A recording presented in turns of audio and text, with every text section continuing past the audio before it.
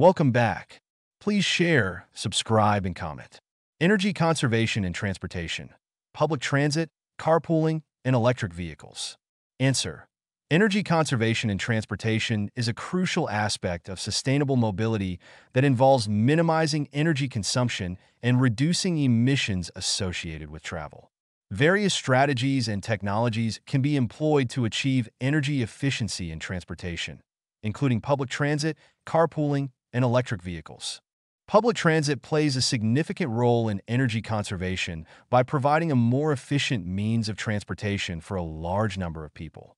By utilizing buses, trains, and other forms of public transportation, individuals can reduce their reliance on personal vehicles, which helps decrease overall energy consumption and emissions. For example, the use of public transit in place of driving a car can result in a substantial reduction in carbon dioxide emissions, contributing to environmental conservation.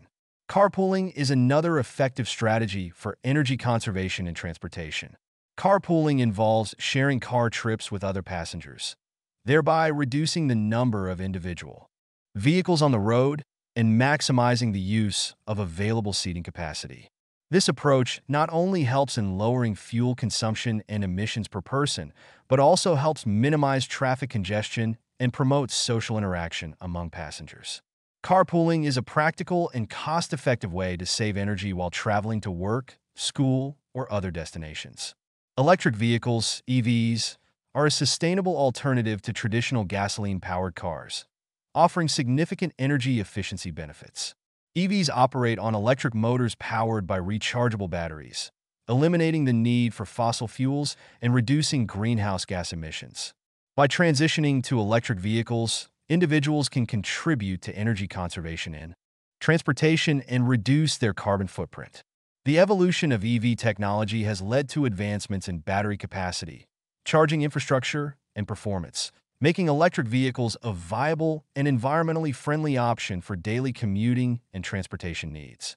In summary, energy conservation in transportation involves utilizing efficient modes of travel, such as public transit, carpooling, and electric vehicles to reduce energy consumption and mitigate environmental impacts. By adopting these sustainable practices, individuals can contribute to a cleaner, greener future while enjoying the benefits of cost savings, reduced emissions, and improved mobility.